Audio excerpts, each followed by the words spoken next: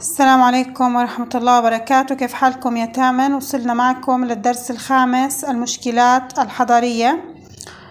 آه، طبعا آه، هذا الدرس بيتحدث عن المشكلات التي تواجه المدن التي تعرضت للتحضر والهجرة من الريف إلى المدن وزيادة أعداد السكان. آه، طبعا هاي المشكلة ظهرت في الدول النامية. أكثر من الدول المتقدمة.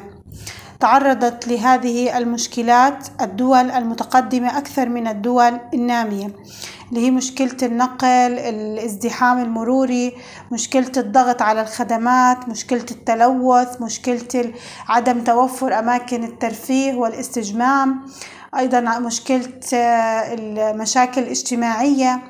اليوم نتحدث عن هاي المشكلات الحضرية التي تعاني منها المدن. اكتبوا لي السؤال ما هي المشكلات الحضرية؟ ما هي المشكلات الحضرية التي تعاني منها المدن؟ أولا النقل. اثنين الخدمات. ثلاثة ثلاثة تلوث البيئة. أربعة يمس. نقص أماكن الترويح والاستجمام. خمسة السكن في المدن. ستة اللي هي مشكلات اجتماعية. أولا نتحدث عن النقل. النقل يعد النقل بجميع وسائله الشريان الرئيسي لربط أجزاء المدينة وضواحيها. وتعاني العديد طبعا من المدن من الازدحام السكاني زي ما أنتم شايفين بالصورة. تعاني العديد من المدن من الازدحام السكاني يعني زيادة أعداد المركبات.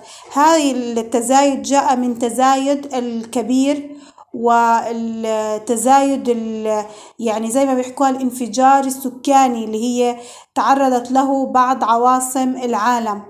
نتيجة لتزايد أعداد السكان الباحثين عن فرص عمل جديدة من الريف إلى المدن. زي ما أنتم شايفين يا ثامن بالصورة اللي هي بنلاحظ في زيادة كبيرة لأعداد المركبات آه، ناتجة عن تزايد أعداد السكان خاصة في عواصم العالم.